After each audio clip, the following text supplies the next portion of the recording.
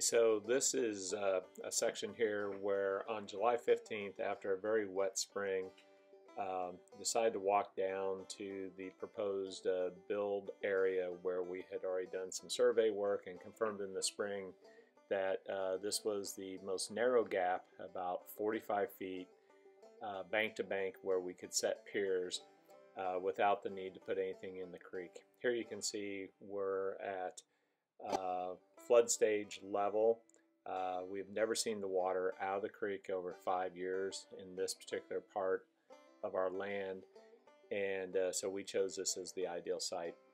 If you look closely in there you can see the uh, red flags where we're going to set piers on the south side of the creek.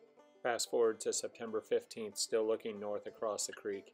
You can see we built the pier and landing area by sinking two 10-foot hedge trunks uh, 8 feet in the ground, should keep us at least 2 feet above the high water mark.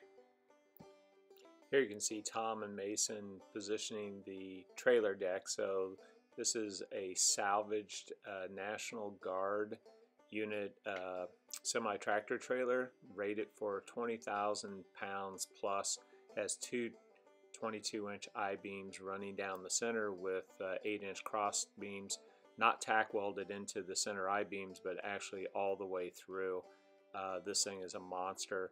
Uh, we estimate it weighs at least 16,000 pounds and uh, you know we're just positioning it to uh, try to hit the landing uh, but more importantly have it aligned uh, so that it can be ready to go when we want to use a fulcrum and some tow straps to try to lift it across the river.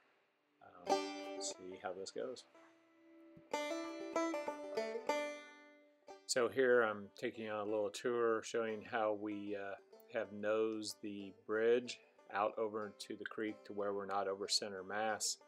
And uh, you can kind of see what we're trying to do here as I climb up on the bridge and start to walk off and look over and see there's a, lot of odds and ends on the bridge as we're getting ready to uh, set our fulcrums on the north side there and then uh, hook up the uh, tow straps and with any luck uh, we will uh, keep it uh, above plane and land over there on that landing which should leave us just about perfectly level.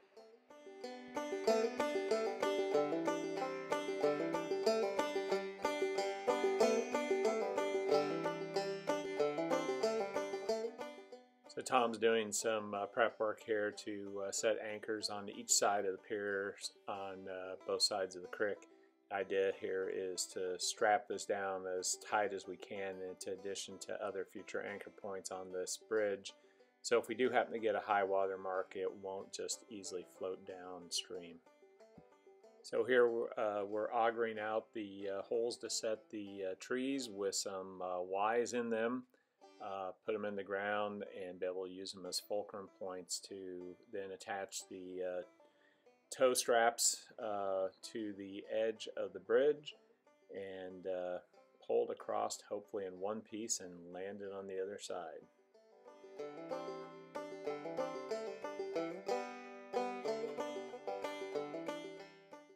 This is a, uh, classic hold my beer moment. Do not try this at home.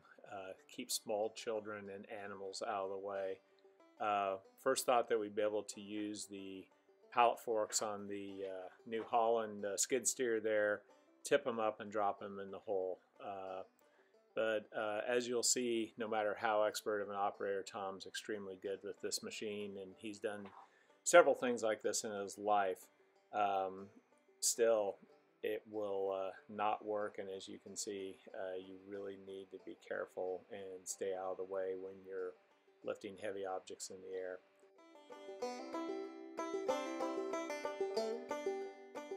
So plan B, so here's Mason uh, attaching uh, some straps with uh, some buckles.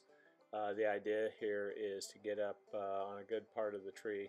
If you'll notice, uh, Tom's lifting is trying to get in position. Um, might have been a good idea to possibly have a guy wire, but Tom and Mason have worked together a lot in the woods and done similar projects, putting these things up in the air. Uh, this is about a 12 foot uh, locust tree and uh, we're putting it about four feet in the ground uh, to use as one of the uh, fulcrum uh, parts to winch the bridge across. And as you'll see here, uh, we are going to uh, have success, success. That was a little bit of a uh, pucker moment there when that tree was leaning towards Mason and hopefully he got that buckle on right because that would have been pretty heavy coming down on him. Even at a glancing blow, that'd do some damage. But uh, in the end, uh, the, the fulcrum's upright and in position.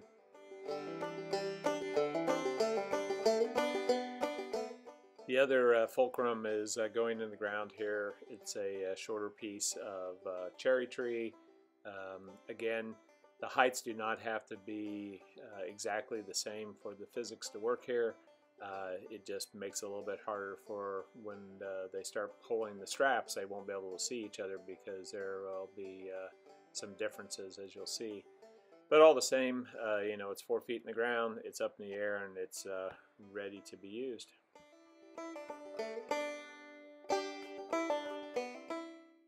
here's Tom's dad using a uh, log jack trying to spin the the left post into position uh, it gives you an idea of just how heavy this is. Um, it's really hard to move by hand, even with a four foot lever. Um, we'll have to have some mechanical assistance here to uh, ultimately get this in place. Um, Mason was uh, a little bit flummoxed here with uh, getting the log jack on the right side, but as you'll see, uh, the advantage of hydraulics and heavy equipment and some experience uh, once it gets in place, uh, Tom spins this thing like it isn't even there. So again showing you the real weight uh, on a tree that's uh, a solid uh, 12, uh, 15 feet long with a circumference of about uh, 11, 11 inches through. Um, work out in the woods, you cut any trees, you know how dangerous this can be sometimes.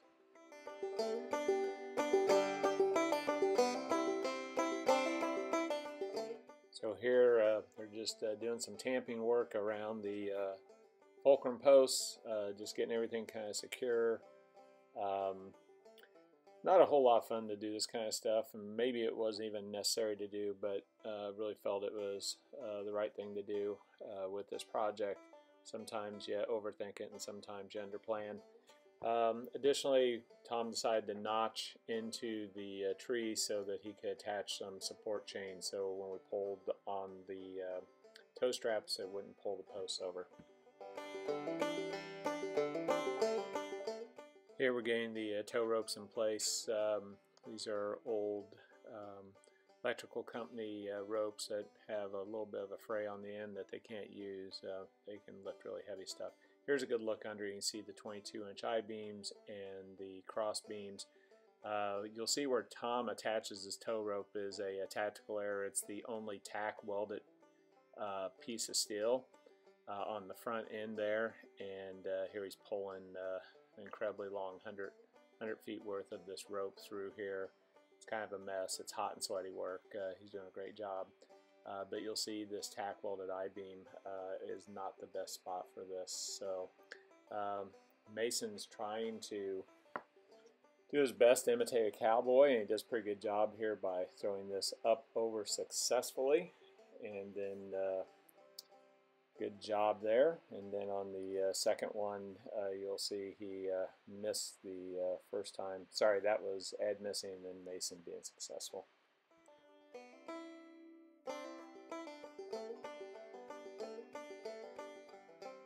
So as forewarned, uh, the left side here, as we put pressure on the uh, the ropes, uh, we do get a nice lift and we start to plane up, but as you'll see that uh, tack welded piece of steel just kind of rips off there like a band-aid. Uh, always uh, make sure there's no one in between the bridge and the pressure point on the rope. Okay, as you'll see we got our tow strap issues fixed here and as we start to move the bridge it moves really well. It planes way up as designed but unfortunately we should have had the forks on Mason can't keep up, and uh, as you'll see, it crashes about three feet short.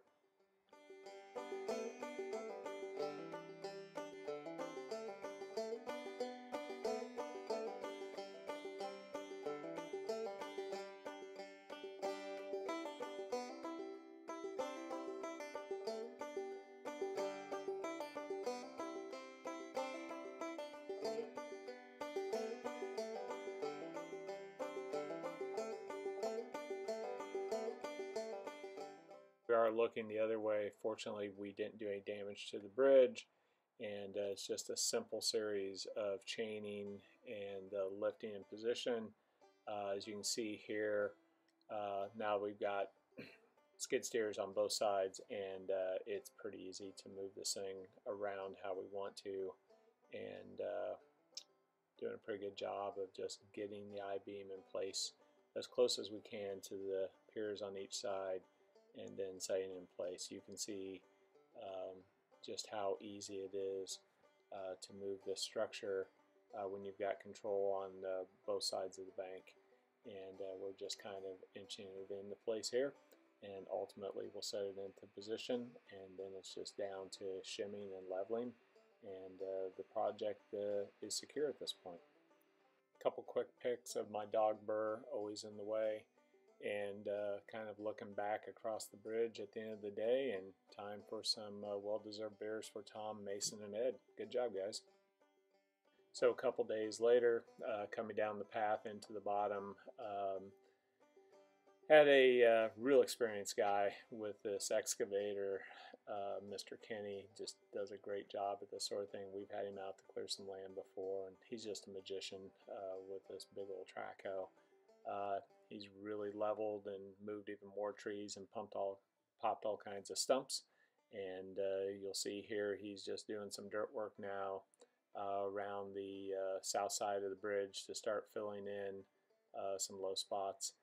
Um, really useful stuff here. You can get a sense of how much grading he's done. He's pulled some really great dirt uh, from uh, some high points in this area and now it's uh, ultimately just going to be all leveled out and uh, really be uh, quite a view from each side of the bridge.